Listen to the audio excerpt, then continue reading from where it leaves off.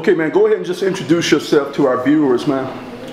For sure, man. It's your boy Tay, T-A-Y-Z-A, represent native of East St. Louis, Illinois, man. I put it down for my city. Okay, man, thanks for joining us on the show, man. What I'm gonna do is I want you to go ahead and first of all, just bring people up to date your journey, man. So go ahead and explain to us how you got in the industry, what's your journey been like up until this point, and bring us up to the present. Okay, started out about 15 years ago. Um, I ended up getting with a, a, group of friends, you know, that was real talented themselves. Uh, they run a label uh, called Can I Live? Devious, Menace, and Tweed one of the three guys I went to school with, man, you know how they work at school, you get with people, then all of a sudden stuff roll off on you. I was already musically inclined as well, because I come from a background of, you know what I'm saying, musically inclined, you know, family members and stuff. So it wasn't difficult at all for me to adapt to, you know, this, this the, the music scene, because I was already a part of it. Um, just kind of went past, uh, a couple years passed by, and I dropped my first song titled You Want Beef. Um, producer that work at Warner Bros right now, his name Lewis Harden, actually produced that, that joint. My first joint I ever did, uh, it went stupid hard, you know, and got good reviews off of that, you know. After that, everybody was expecting and waiting for me to, you know, do something else. So, you know, as time passed by, I ended up getting with another underground label called Drastic Measures. Y'all might know him, Devious. You know what I'm saying? Uh, Devious Beast Mode, Beast Up. Shout out Beast Up Films, man. You know, me and him, we started a label and whatnot, along with a few more other cats called Drastic Measures. It was very successful. We had a, a, a, long run on that. Knew a lot of people, networked with a lot of people on that, got some good records out of that, you know. Uh, but you know, at some point in time, it's like once you get so far in this, this, this, the scene of music, at some point in time, you got to make a transition to actually become a boss yourself. You know, it's not even becoming a boss, but you know, you got to become independent at some point in time. You feel, and whatever you do, um, especially if you know that you have the ambition to do that, you know, the drive to do that. So that's what I did. I started my company, Tay Entertainment. I'm the CEO of it. You feel me? Um, I ended up going to school for another couple of years to get my business management associate's degree, so I can learn how to better run my company. You know, um, now I got hit records. I have songs on the radio now. I got a hit record I called "Look Like We Made It." that's doing real well, you know, across the country, get royalty checks for that. You know, um, I just signed a couple of uh, artists to my label as well. One of them is official, his name is Boogie. He real hard, represent East St. Louis. The next one, I'm gonna let y'all know about that. Give me a second. You know, right now, just doing my thing, man, independently. You know, I'm trying to rack up these royalties. You know what I'm saying? I'm trying to do what I'm supposed to do, get these records out here. I got a new album that just came out called uh, Stay Focused. The whole album code, point A to to be. That's it. Just the whole the whole thing just spectacular. Just a solid project. So um, be on the lookout for that for iTunes as well. Uh, you can reach me at Facebook at Tayza CEO, Instagram Tayza CEO, YouTube Tayza. Okay, what's the what's the name of the single off that album, man? What's the single you pushing? The name of the, the new single that we got uh, coming off of, we actually got like like four or five singles off that album. Um, what I'm gonna do is actually let the people you know what I'm saying, uh, uh, uh, you know, tell me what they, they want to hear, you know, what they want to see right now. Um, I currently got three, four videos out right now. Look like we made it, so far gone, and uh, mine made up. So, and those doing well as well. Uh, look like we made it, got like 120,000 views in like its first six, eight months type, you know what I'm saying? So it did real well. Got the radio play 104.1. Shout out 104.1 for playing my record. Tell me the concept around that song, man. The concept, look like we made it, man. Um, you know, it, it's basically you know, this is not not to sound like Drake or anything like that, but it's the bottom to the top. You know, this song been out for a year and a half now, so and it's been doing numbers way before this bottom to the top thing. But the theory of the bottom to the top type thing is what the look like you made it. You know what I'm saying? Concept is about. You can graduate high school or college and you made it. You know what I'm saying? Uh, well, my concept went for us me when I first started doing music. Then it was like a transition phase from this level to this level to this level. And what I do is take you through those levels from when I was a little kid on to to where I am now, you know, I made it. And it's a metaphor, you know, it's not, that don't mean that you're rich and you did all of, you got all of this, these big houses, that don't mean nothing about living like we made it, we made it. That means you, woke up this morning, and you can breathe now. You made it.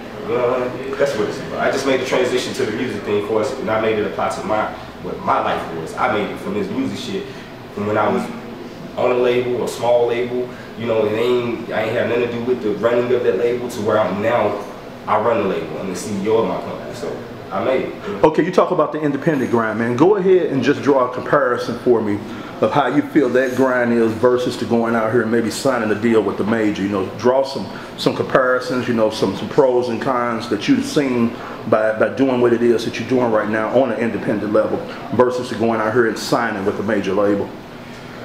Well, I mean, most of what I might say, uh, some won't tell you. Actually, most won't tell you. But I ain't gonna sugarcoat the shit, you know what I'm saying? Independent is where it's at. I'm gonna tell you like this. Right now, you can have a CD, you can sell that motherfucker for $9.99. And if you sign to a label, you only gonna get 10 cents out of every motherfucking CD that you sell. So you do the math on it. Do you want you want 100,000? Do you want 900, 9 million? That's the difference between the big label and independence. 9 million, 100,000. 100,000 big label, 9 million, you. The money goes to you. So that's what it's about. You know, when you politic you do this and you building your brand and all of that stuff, all of this is under your control. Long story short, if you're independent, you have more control. You got more money. You got more ways to get shit done to where it's gonna benefit you. Not the white motherfuckers you never even talk to for six months at a time. That's the difference. Okay, let's talk about the state of the game right now, and we're going to draw it into what you're talking about right now.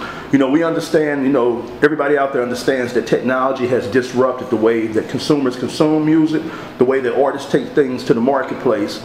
You know, what I want you to do is I want you to go ahead and talk about whether you see that as something positive or negative as far as technology and its impact on the game today, and, and how is it fitting into your overall strategy and plan. Well, you know, right now, um, obviously, we got to say technology has made it a lot, you know what I'm saying, easier for us to get that music out there as an artist for any business, you know, in matter.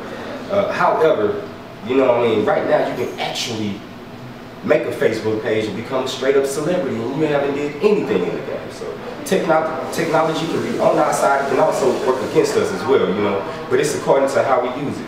You know, right now, uh, you know, I got a call and somebody wanted me to send them a bio or something like that, or send them my press kit. It was nothing but a little click of a little email and I sent it straight to them. So, I mean, and that's just what it is. As far as, uh, you know, the, the, the way the, the game is right now, and you put your music inside of the store, you know, that's just only the first, you know, half of that shit. You know, the other half is actually just like you doing this shit yourself. It, you don't even really got to worry about this, that store money, all of that shit.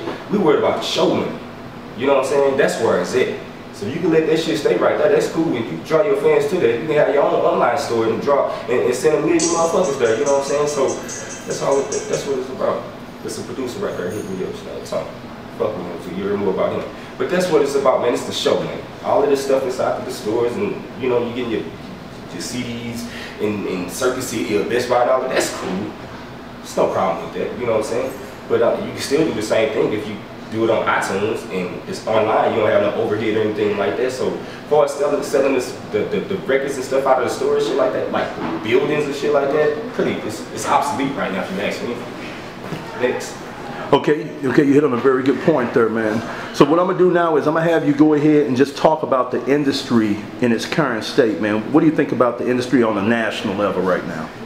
Uh, currently, man, uh, what I think is at this point in time, we, it, it, it's starting to convert back to where, you know, we left off. I wouldn't say back to the roots of it, but what we left off before it got back as fuck. You know what I'm saying? Uh, I think, you know, with, with Kendrick Lamar showing that he can hold it down, you know what I'm saying, lyrically, you know, and still reach those crowds that like to hear that fucked up music. You know what I'm saying? Like, that's a real breakthrough right there, you know? And niggas been doing that shit for years but they get overlooked because you know motherfuckers just want to hear booty shaking shit. You know, so it's nice to hear that breath of fresh air with Kendrick Lamar coming in like that. You feel me? With that hot ass heat, and that's what you can expect for that motherfucking album that I got title "Stay Focused." You gotta expect nothing but hits, and that's it. Anything else is not even me. Okay, what do you think about the um, the local game, man? You know, we, we think about St. Louis, East St. Louis, and how it compares to area like the Bay, you know, Atlanta, you know, Houston, New York you know, where do you think we stand as, as far as infrastructure support, and then what do you think it's going to take for us to take it to the next level out of this area, man? Well, uh, first and foremost, I think right now for us, the uh, scene in St. Louis and East St. Louis, uh, the scene could get better. You know, I'm from here. No, I ain't gonna talk bad. I ain't gonna talk bad. Y'all know what it is, though. You know what I'm saying? We need unity, of course, you feel me? We need everybody to come together and, you know, at the same time, play your own role. Know your, your position, you feel me? If you know you can you can do you shoot camera uh, pictures better than the next motherfucker, you ain't what's understood need not to be explained. Go ahead and do that, and your shit will show. You feel me? And if it's like that, this this person cool, then you go ahead and work with them. You know, and, and, and this is the difference between here in, in the Bay and other areas. You know, when they see it's a thorough motherfucker, and you know they ready to do shit, they got their business right. They willing to work with them. You know what I'm saying? I don't give a fuck if it's down south with Jeezy, T.I. them or what. If you own your shit, then you finna be worked with, you know? And it's slightly different from this thing. Cause you can actually on your shit. But the monopoly's so fucked up that even if you own your shit, it's a little cousin or something like that, that this nigga know that they ain't even half as cold as you. They want to push him. You know, this ain't about no truth no shit. This is about the same fake shit that they talk about with this game. You know? It's rules to this shit, bro. You know? Okay, when you think about when you think about names out there, man, let's let's talk about the past. You know, let's talk about you know people that that that, that have catalogs or brands that have catalogs. Let's talk about things like Wu Tang. You know, let's talk about people like Ice Cube, like Pac. You know, stuff that Dre them done out here. Do you think those days are over, man, or do you think that that's coming back now to where cats are looking at they, their careers with longevity of just dollar signs, man? We're really trying to put together catalogs and stuff like that that outlast them. That's a good question. Um, you know, my grandmama always told me, and my mama told me as well, you know, what goes around come around. You know, if they out, shit come back. You know, it'll come back. This is how potent it's gonna come back. You know what I mean? And, and, and, I think I'm starting to see, see like a percentage or two of that potency come back. Like I said, I mentioned Kendrick, Kendrick Lamar. You know, he's one of those guys that really, you know, can touch you and, and say some shit, period. That's what I'm saying. It's just like, it's not like no out of this you know what I'm saying, shit that we don't need to hear type shit. It's actually shit that's supposed to count type shit. And I think it's getting back there, but at the same time, we far from it. But can it get to back to where it was? No, but it can get to where it's hip hop. You know, potency already there. The shit already been revealed already. It's not about getting back to where we was. You know, it's about exploring. And, you know what I'm saying, and, and, and exaggerating what it is now. You know, now we got to do this shit truthfully. Because back then, 30 years ago, we don't think how it is now, bro. We got a whole different story, a whole different essence, a whole different, you know what I'm saying, shit to touch on. You know, okay. You gotta keep that shit thorough like how they did it back in the days. That's what it is. Okay, real talk, real talk. Okay, let's talk about some artists out there, man. Go ahead and, and, throw me a couple names out there who you feeling, man. If I if I had to sit with you in the passenger side of your ride, who are you bumping? Underground or? Let's say underground and above ground. You go and give me a couple out of each one. Okay, shit. But right now, man, you know, I'm on, I'm riding around to my, to my new joint. Stay focused right now, you feel me? Uh, it's currently out in the streets. Um, Besides that, man, I'm fucking with T-Real, man, my little bro, you know what I'm saying? You can check him out, it's real, it, real T-Real on, on Twitter. You know what I'm saying? Uh, I'm fucking with Gunna, Gunna Bands, you know, represent East St. Louis, you know. Um, Joe. Then I'm switch to the straight up mainstream shit, you know, how at your boy Kendrick Lamar.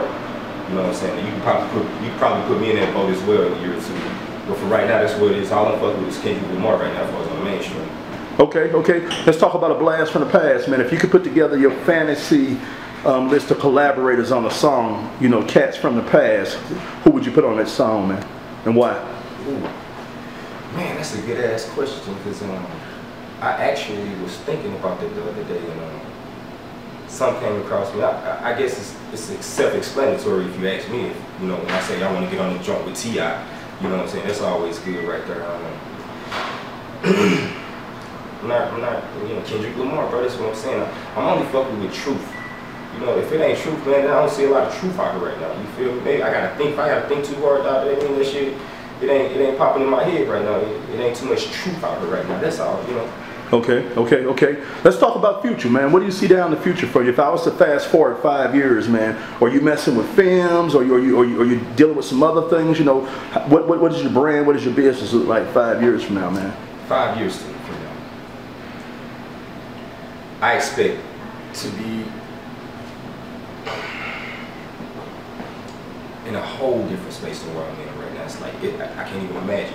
Because I know what I asked God to bless me with, you know, and I know the energy that I put out there, first of all. So I just went to school, graduated, got my business management associate's degree. Obviously, I'm trying to be a motherfucking boss and know something about what I'm doing. You know what I'm saying? Um, so with that being said, uh, I expect to be 100 levels from where I am right now I expect to have my own motherfucking brand just fully, you know what I'm saying, right there for you to see. I expect I expect things other than this music shit to happen. As far as with this music type shit, I expect to be in the position I am right now, but way hundred percent, hundred percent, the same person, but hundred percent better. Okay. It's- I can't explain to you what it is. I just it's not a materialistic thing. It's just what it is. I hope to be the same person I am now. That's what I see. It's everything else much bigger. Okay, if you had to look out there in the industry, man, who, who has a blueprint right now that you think is, is worth imitating, man, or at least being inspired by? When I say blueprint, I mean from music to money to passion. Who do you think got the blueprint out there, man? Uh, number one, you know, you got a boss sitting in front of you, so I'm, I'm gonna have to say Jay Z. You know what I'm saying? He's that's that's the truth for us with the business side of things, man. He he's so uh, intelligent about the moves that he make that it's it's got to be inspiring. Um, and 50 Cent uh, is another one that it's like if you y'all just man y'all stop fucking with the music, man. Just pay attention to the business shit, man. The business side of what these cats doing, dog. And I promise you, when you get back to this music shit, dog, it's gonna be so much easier. You're gonna be like, damn, I ain't even put that move because I know this business move gonna call. It's so stupid, bro. You just gotta pay attention to the business. You pay attention to the business, man. You gonna know what moves to make for us with your music shit. Man. I'm sorry. Just like that. If you had to choose passion or profit, which one? If you only could choose one. Most definitely passion. Okay, okay, okay. Now you just said something about Jay Z and 50 Cent, man. Do you think we'll ever see a billion dollar hip hop artist or a billion dollar hip hop brand out there? You know, these guys are reaching the 400, 500 million dollar range now. Do you think we'll ever see one crack a billion dollars, man? a billion. Um, well, I mean, Jay Z and Beyonce, I'm sure they have cracked it, but solely by itself, sure, hell yeah, sky's the limit for that. Once you're on that road and you got that, the business is the most important thing. When you got the business, the money will come. Okay, two pieces of technology that you can't live without, man. Shit, um, my studio and my phone. Okay? If you had to give words of wisdom to the next person coming behind you, you know, what kind of advice would you give them?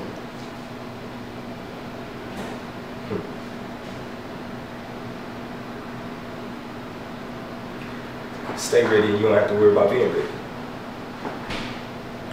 Okay, we're gonna go ahead and wrap things up, man. What I want you to do is go ahead and give you shout outs. Also, again, let everyone know how to get in contact with you, whether it's through your social media platforms or your website. Just go ahead and um, let them know how to get out, get out, get, get in touch with you.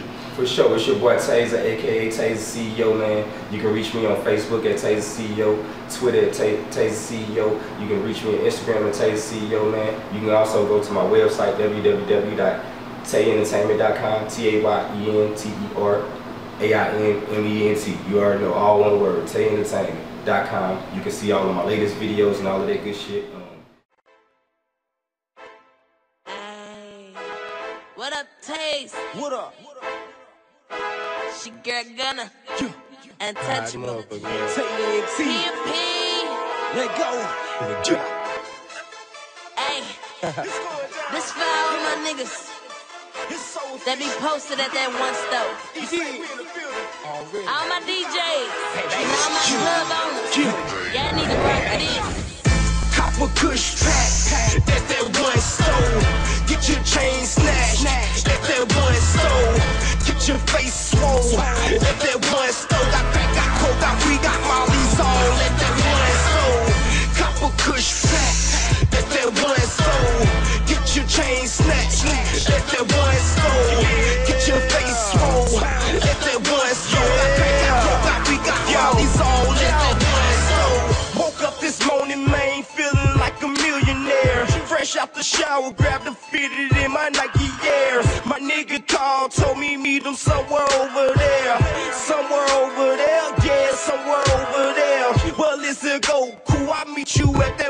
stove, one stove, that one stove, yeah, bro, that one stove.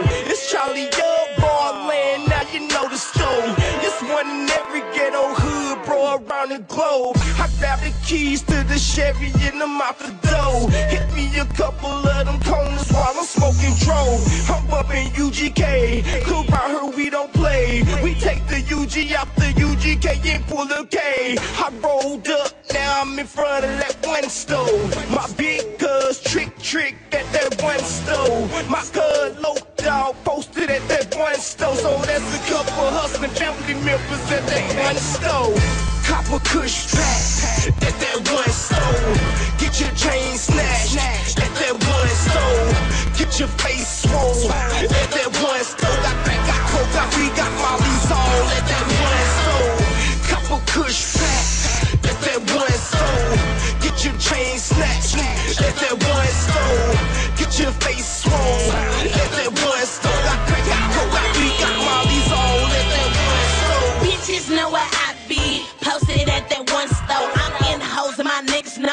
smoking at that one store. I only fuck with them real niggas. T Dub and my cousin Lee. Man, man, and my niggas stick for my motherfucking little brother Mike G. On the bitch and I'm on the block. All black and I'm trained to go. I'm in the hoes and I told you hoes that I'm the shit and you know for sure. Bitch, I got my hater blockers. And you know them haters watching. Double cups and a couple blunts. My chrome wheel with them 12s knocking. Shout out to my A-Rabs, my nigga Sam, my nigga B, my nigga Jenny, my nigga Bunny, my nigga Pat, P, Candy and the rest of y'all. Hey, you know we got a ball. Tell the bitches they gonna bands, I'm back and they gon' never fall. Molly mixed with lemonade. Told you I'm a renegade. Fuck you nigga, I fucked your bitch. Gonna bands, hop on the train. Told you I'ma do me. Bitch ass nigga, do you. I'm posted at that one stove. These hoes ain't got a blue clue.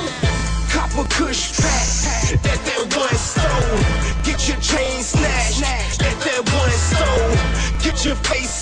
face